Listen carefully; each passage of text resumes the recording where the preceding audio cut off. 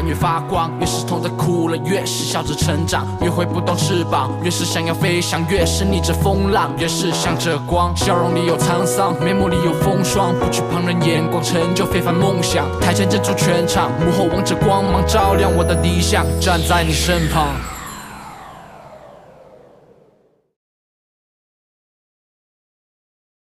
台长，您当时说服我加入云海卫视新媒体部，就是因为我们可以自由自主的去开发我们自己的原创节目，这也是一开始咱们就说好的。是。可是现在您让我拿台里旧有的一档节目进行包装，在我看来，只是把我们云海卫视新媒体部当成台里的附属的服务单位，这样恐怕也会打击大家的热情和信心。您看，您能不能说话算数，让我们开发自己的原创节目？小谷啊，可以说整个云海台，甚至于是整个传统媒体的圈子里，没有人比我更看好新媒体的发展，没有人比我更希望制作出适应于新媒体的原创节目。可以说，我本人在台里是最支持新媒体原创的，差不多是唯一一个人。我们每一位资深的领导对台里的整个的发展都有自己的深思熟虑。坦白的说，有一些人对你们这样一个年轻的团队能否独立制作出节目还在怀疑。至于新媒体之路，那疑虑会更多的。所以说，在你们真正开始制作原创节目之前，首先要得到大家对你们的肯定。台长，如果我们不做一件自己根本不想做的事情证明自己，那我们整个团队就会集体失业吗？失业并不可怕，可怕的是我们的《青山绿水》如果在网络上播出不成功的话，那我们的新媒体不包括你我的寻寻招致，将一去不再回来。我明白了。那好吧，那我就赶下午的航班回去了。稍后青山绿水的团队会跟你对接的。那我先走了。台长，嗯，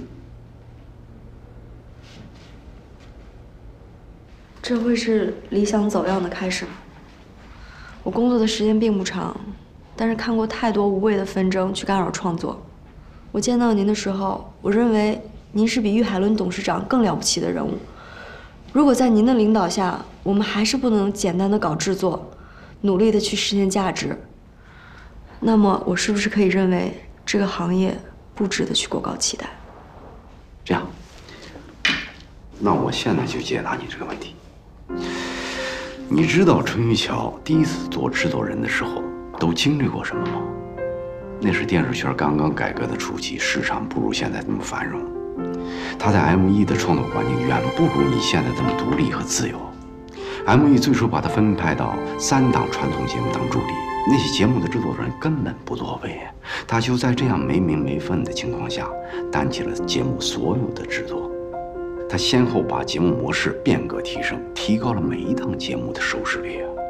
在那之后，他又放弃了升职为高级制作人的机会，去主导了一档收入垫底、即将被取消的弱势节目。他亲手将这一档非常过时的音乐鉴赏节目改版成了成功的音乐选秀。在那之后，江湖上才有了魔鬼鱼的名号。这些我都不知道。原来您这么了解他。我对业内的每一个人才都是非常关注的。不小果，你现在就站在春雨桥第一次做制作人的起点上，但是你所拥有的东西起码比他多呀。那我都拥有什么呢？好了，任务我不再交代一遍，响鼓不用重锤。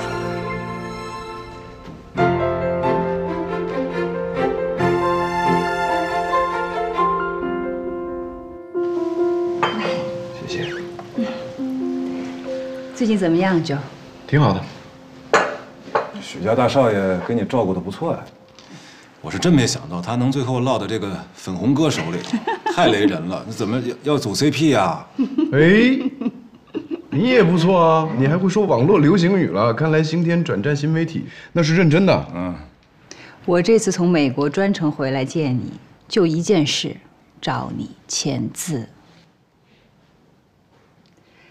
那天暴雨直播，你一手帮助刑天直播 APP 的流量冲上了天。我答应过要给你百分之十的股份，我说话是算数的。后来因为一些变故耽误了时间，不过你在美国考察期间，我安排律师把合同文件都给你寄过去了。收到了，Helen，庭远。暴雨直播的这个事儿呢是个意外，我不敢居功，而且现在我不是星天的人，拿这样的股份吧，确实不太合适。此时此刻呢，我是春泽传媒的高管，不避讳的说啊，我们现在是竞争对手。讲究。虽然春泽和星天是搞娱乐的，但直播 App 严格来说是属于 IT 产业，不在竞业禁止之内。我知道，所以我到星天就更没有什么用了。娱乐产业呢，我是个专业人士，但是 IT 我是真的一点儿都不懂，所以让我来入这个股，没有办法给星天加分的。就，新天的任何事由你加入，怎么可能不加分？我就直说了啊，星天直播呢，现在市值已经相当可观了，可外界都不知道。我姐压着投资方的资本不让进入，就为等你，等你把这个字签了，一分钱也不用花，咱们共赢。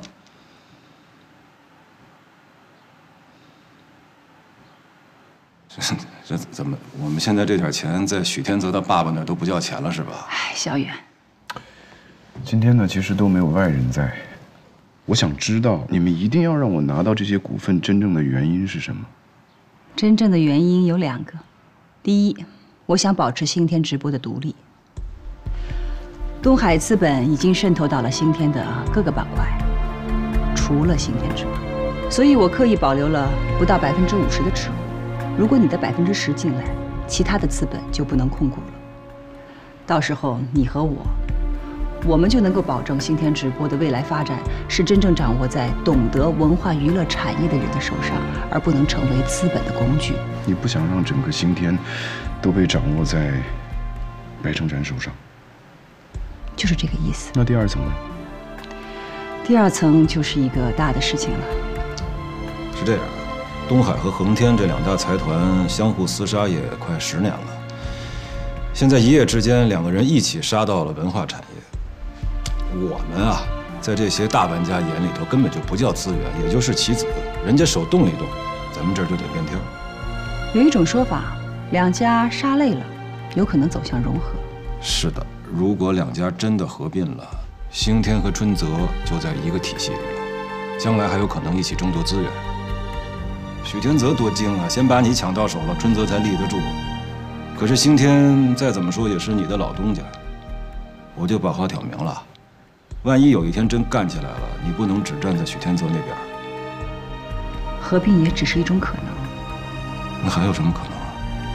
白总和徐总杀了这么多年，都快成商界演绎了。如果一旦谈崩了，只可能产生更大的竞争。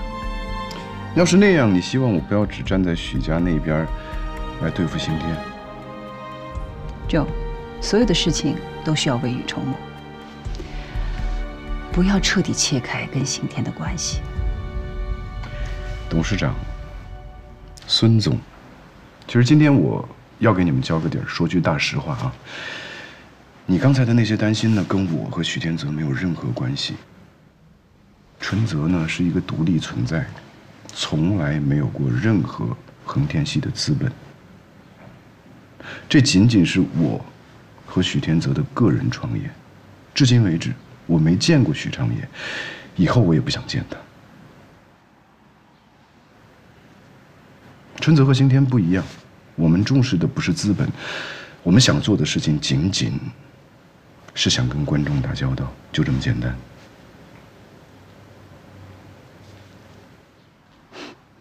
好吧，我又被你说服了。哎，姐，虽然目的没有达到，可毕竟你告诉我了事实，我没有从美国白回来一趟。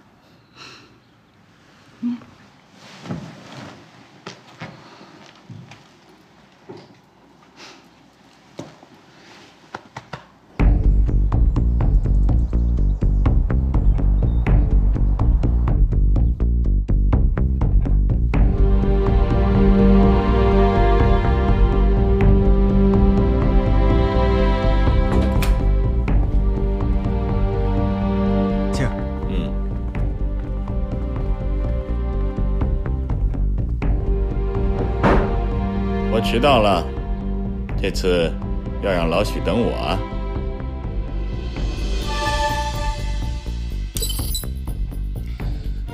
我买了这个球场，这两天我都在这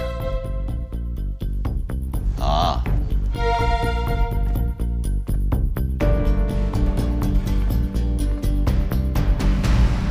哎，这是小女，欣欣，问候许叔叔。许叔叔好。嗯，你们家天泽呢？就到。董事长，正要上去找您。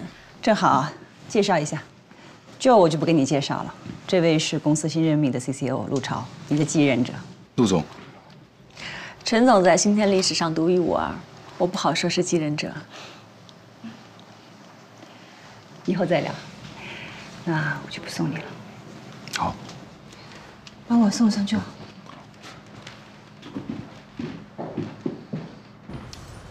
我姐是理想主义者，我比较现实。许长野会让春泽独立？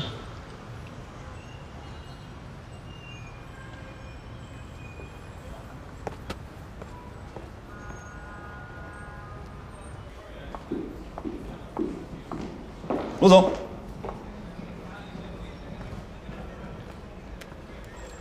星天全县最高的门禁卡，归你了。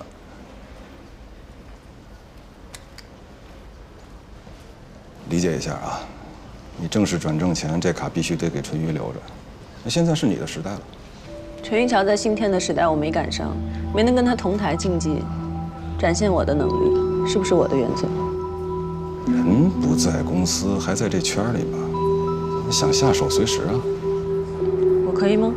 可以，但你得有这个实力。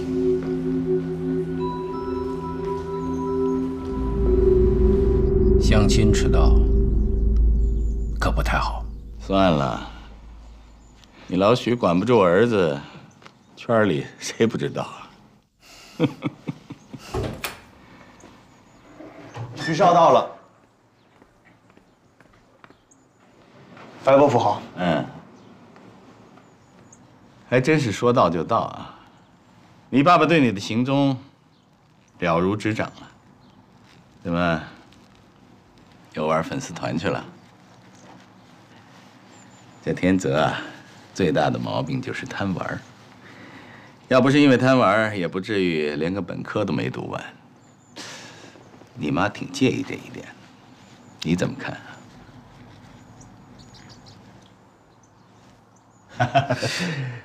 哎呀，老许啊，这孩子的婚姻不是生意，好像不应该这么谈啊！我是不是太计较了？白伯父不理解我，这一点我可以理解。我们男孩就是爱玩，谁叫白伯父没儿子呢？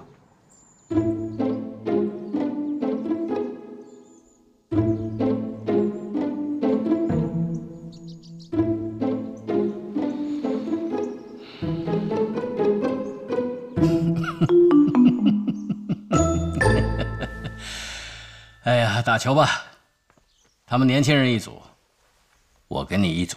好，嗯，你说我们这一节亲家算不算给中国商界省心呢？省心？未必吧。嗯。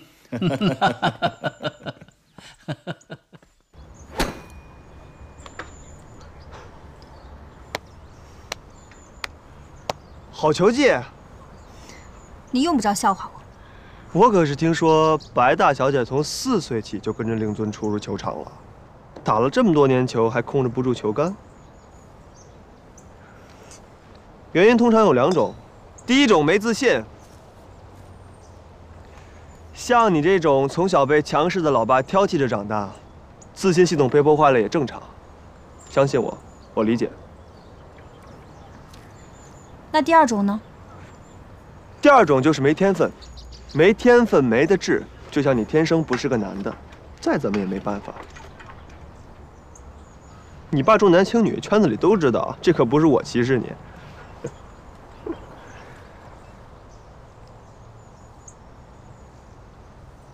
这是谁？我前女友。前女友？你会把前女友的照片当手机屏保？分手是分手了，可是我还喜欢她呀。相亲我是来了，给老爸当工具嘛。可感情还是我自己的事儿。怎么着，乖宝宝，你连感情都被你老爸买断了？还是说你根本就没有过感情？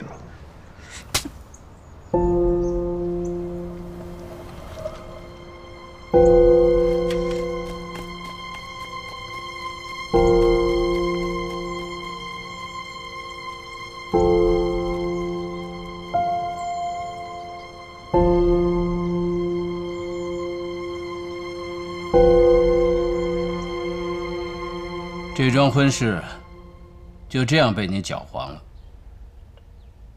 不是正合您的心意吗？恒天的股东需要交代，这个锅我背。您心里真的愿意就这么放过东海，跟白成展休战？真的是我的亲生儿子。你越长大，我越能确定这一点。我可不在乎。你是我的儿子，谁也改变不了。你的一切都是我给的，你自己心里清楚。春泽永远不会是您的，这才是改变不了的事实。白成展已经成功进军娱乐业了，您现在想拿春泽去跟他竞争，哪有这么现成的事儿？这一仗，您败给白成展了，认输吧。我忘不了您是我爹，所以我今天才会来，但是我也只能帮您到这儿了。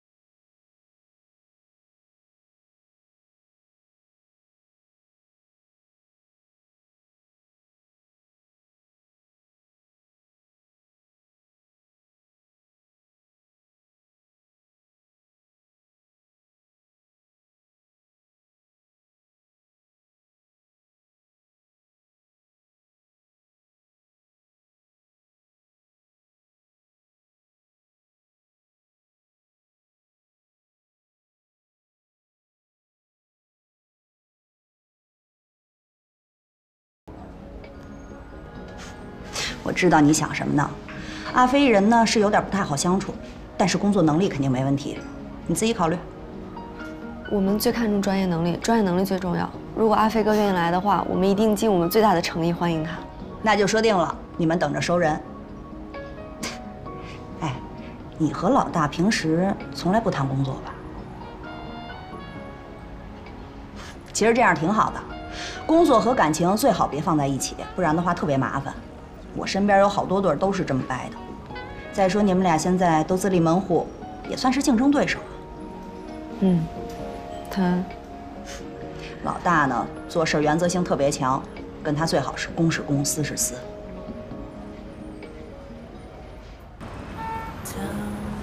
一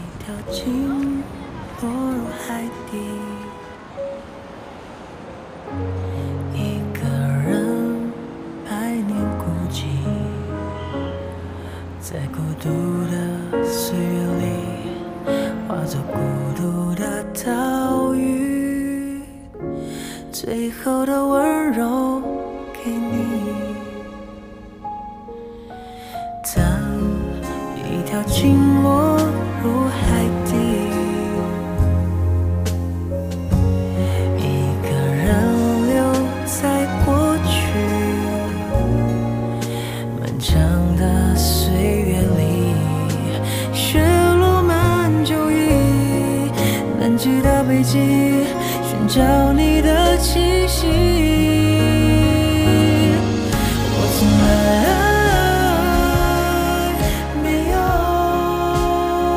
我在新天总监室的时候，团队太大，事情太多，我可能只能记住员工的代号，但是人名我记不住。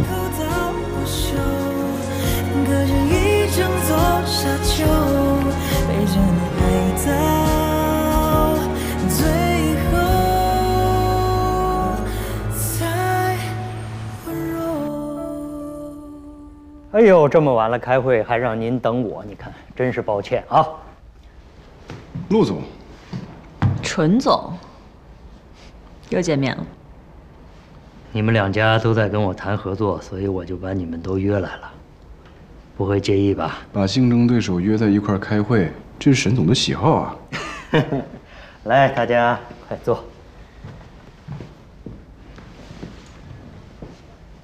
你们两家的节目策划案我都看了，一个是素人音乐大战，一个是大牌音乐脱口秀，太精彩了。哎呦，难以取舍呀！如果爱妃要是有幸能够绑定两个大型节目，以取得连续的优势，那真的是太好了。你看，我们这个冬季上线的棚内音乐类节目，到了夏天要接档，我需要一档最好的户外真人秀。星天的《魅力远航二》铁定是明年最热的真人秀。但是，咱们把话说回来啊，《魅力远航二》原本是纯总的创意，所以说从这一点上看，我觉得纯总明年的作品铁定也不会让人失望。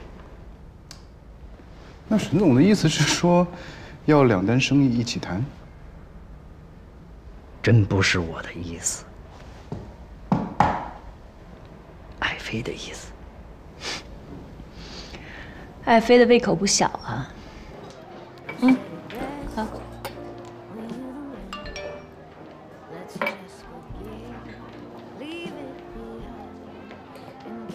哟，怎么样？八卦有结果了？老白和老许掰了。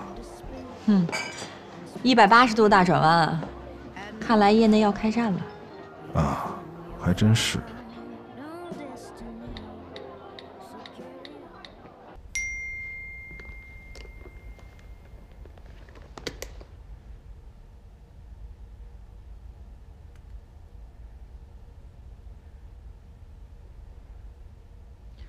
我可以把《魅力远航二》卖给爱妃，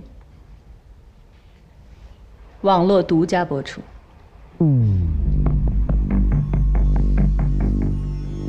陆总拍得了板儿？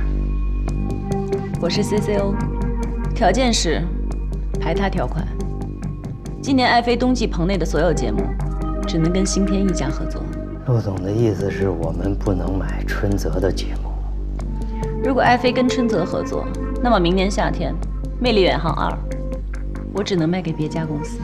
你这拿纯总开发的《魅力远航二》来打纯总，这下手有点太狠了吧？陈总在新天的时代我没赶上，所以我也不必讲什么交情，一切以公司的利益为重。现在《魅力远航二》的知识产权在新天，我有权利这么做，对吗，陈总？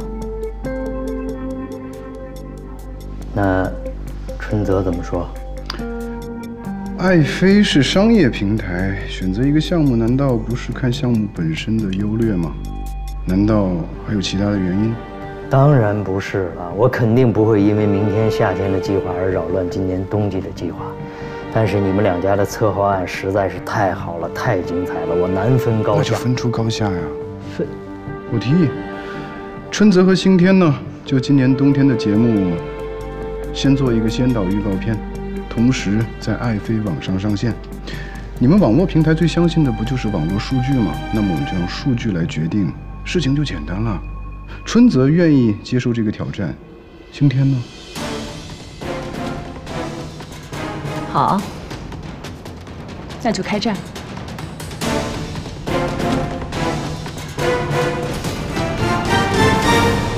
概念片拼数据，不是凭什么呀？怎么了？你怕拼数据啊？我当然不是怕了，咱们就是靠数据分析起家的。不过咱们都跟爱飞谈好了，怎么又临时加码呀？魔鬼鱼大大，我知道你厉害，但是咱们也不能老挑战自我极限呐。你爸跟白成展谈掰了？被这事儿波及了。星天已经下狠手了，不能不应战，准备全员加班吧。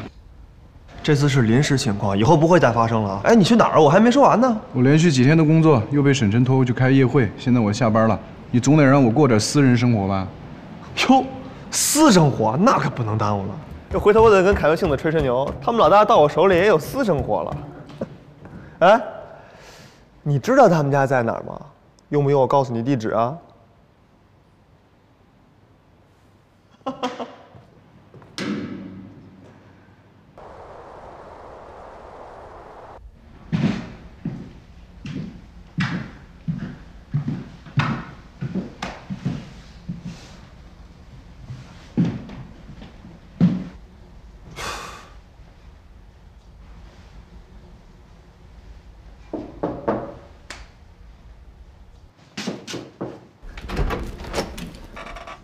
春春玉师兄，你好，那个我我我是木娜，小谷的同学、朋友、闺蜜、同事。嗯，您请进吧。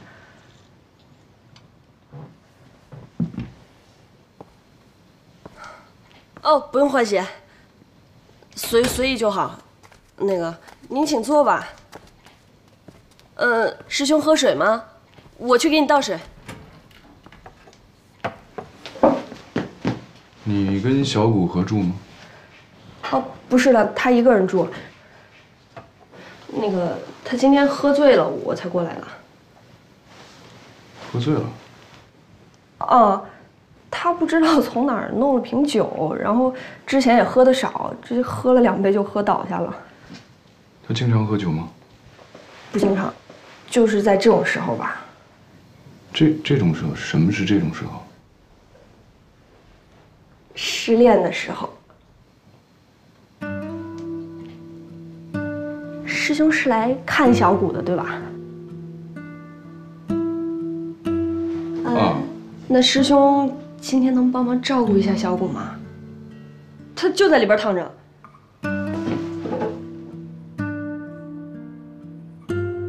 是我那个家里边其实还有事儿，明天还要上班，两边忙不过来。要师兄能帮忙的话，我就先解放了。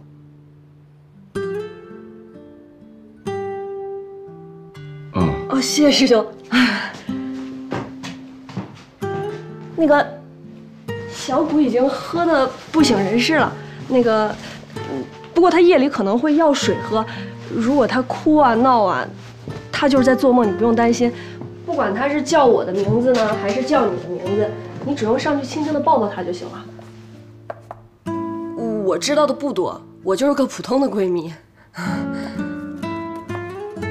对了，她最近好像经常做同一个梦，说是在什么聚会上喝多了，然后被人蒙着眼睛什么的。反正做完这个梦，她就容易激动，这一激动啊，头就容易磕在旁边那个架子上。您帮忙多看着她点儿。那行，我走了啊，谢谢师兄。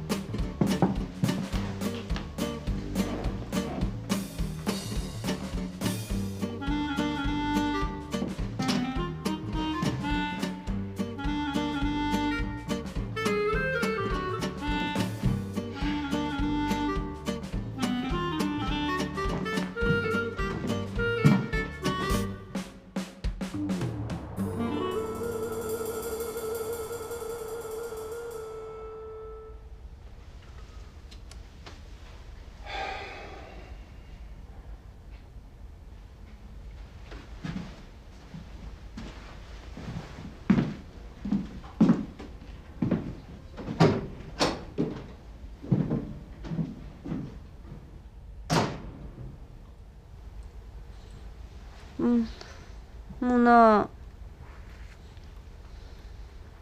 木讷，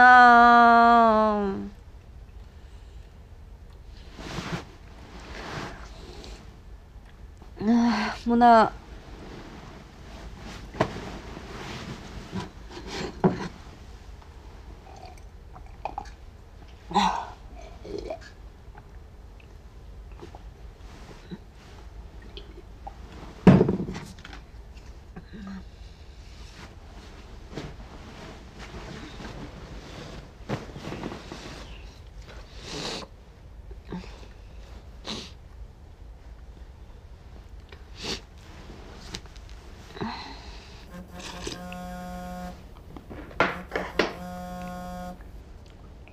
喂，木讷，小谷老板这么早啊？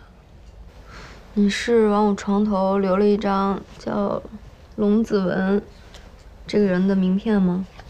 龙子文是谁啊？那是谁留的呀？可能是淳于师兄吧？谁？淳于桥啊，他去看你了，你不知道吗？昨昨天晚上我我我喝醉的时候是吗？不是，他来干嘛呀？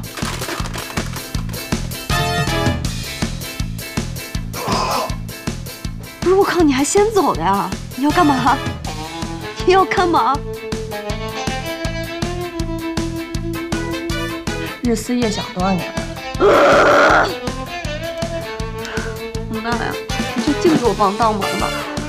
谁不想在自己心爱的男人身边，这个一个完美、性感的这么一个形象出现在他面前？你你你你这不是你这个王八蛋！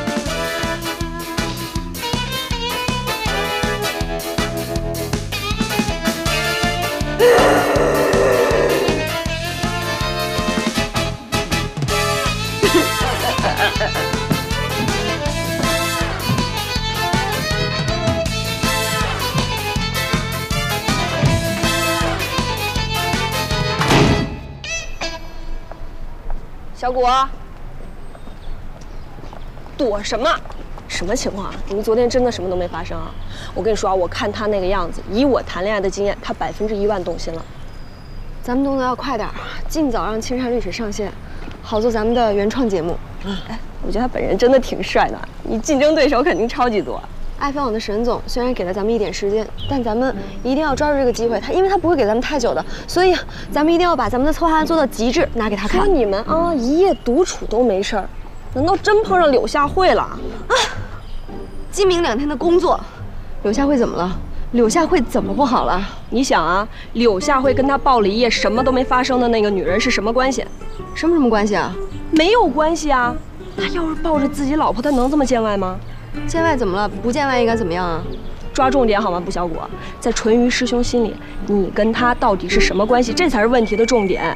咱们，你你最担心的不就是这个吗？咱们不是已经分析好了吗？就那 party 上，他捂着我的眼睛，拉着我的手，给我蹭来蹭去的，不就已经定了吗？我我我就是在想，啊，我们是不是一吻定情看多了？定了吧？定了。定了，觉得定了，嗯，定了吧，定了。小谷子，小谷子，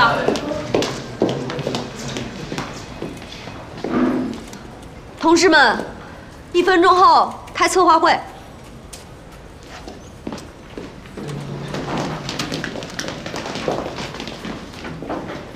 这就是我们总监布小谷。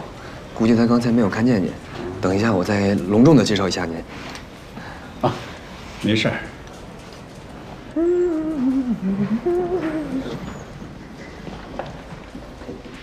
哟，没换衣服啊？干正事吧，许大总裁。这腿怎么了？喂。昨晚没睡好，接下来我要宣布两个关乎于公司命运的消息。第一个消息是我们的一号节目《花与火之战》已经圈定了在爱飞网独家投放。耶！但是不要高兴得太早，第二个消息来了，我们现在面临了一个非常强大的竞争对手，这个对手就是星天。在第一期节目播出之前，我们要先做出一个先导概念片，这个概念片的时长是正式节目的一半。我们要在这个概念片里全面展示出我们节目的模式和精华，同时，星天也会做出一个同样的概念片出来跟我们 PK，在一个月之内，我们要试播。因为概念片不能透露节目内容，所以我们要从零开始策划。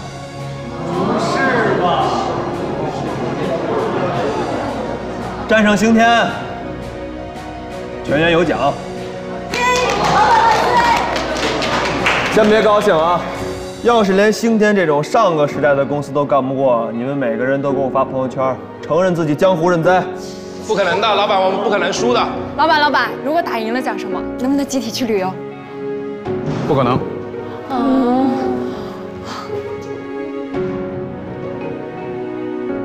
别管他啊！打赢了我批假。嗨，干活干活！哎，你吓死我了！雷导是云海卫视《青山绿水》节目的导演，雷老师。雷导在台里是老前辈了，做《青山绿水》已经三年了，这次特意飞到上海来跟我们新媒体部对接，传授经验。大家欢迎。雷导你好，我是啊，我知道你，部小谷总监。这原来在台里有总监这个头衔，那最起码也得工作了十五年到二十年。可现在您看看啊，欢迎雷导远道而来与我们一起工作。青山绿水网络版是我们新媒体部的第一项工作，下面我们来讨论一下吧。我们的计划是在原节目的品牌下进行全面改版，制作一期网络试播节目。如果获得市场的认可，我们将会把新版流程交给青山绿水园节目组，将陆续制作下去。台长，请您过来，就是为了配合我们的工作，把这个节目做好。我。我配合你们？不，不是，不是，是大家相互配合，相互配合啊！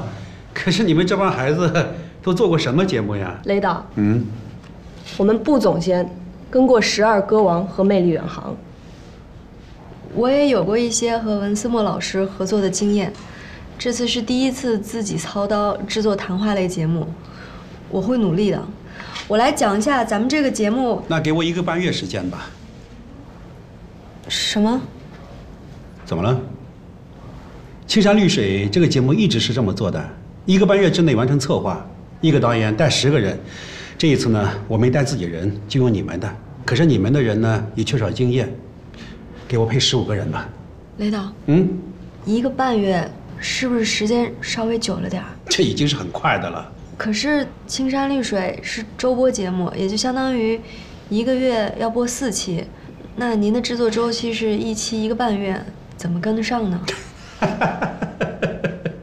所以我说你们这帮孩子没有经验吧？这个节目呀，有六个导演，大家是轮流做的。六个啊，那就相当于六十个人的团队，就做这么一个小节目。谁到来天安排？谁留下心主宰？